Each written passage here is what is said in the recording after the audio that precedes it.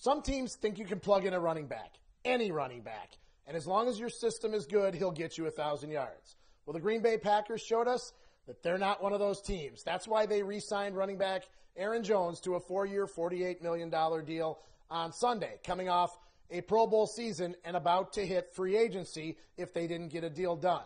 Now, many felt after the Packers didn't use the franchise tag on Jones last week at the deadline that he was as good as gone.